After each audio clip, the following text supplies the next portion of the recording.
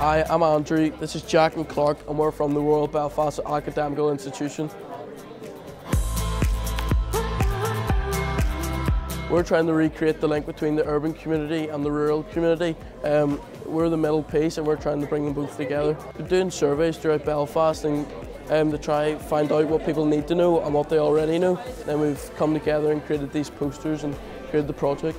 Um, we've created a business plan for the CAS if we are successful in getting them.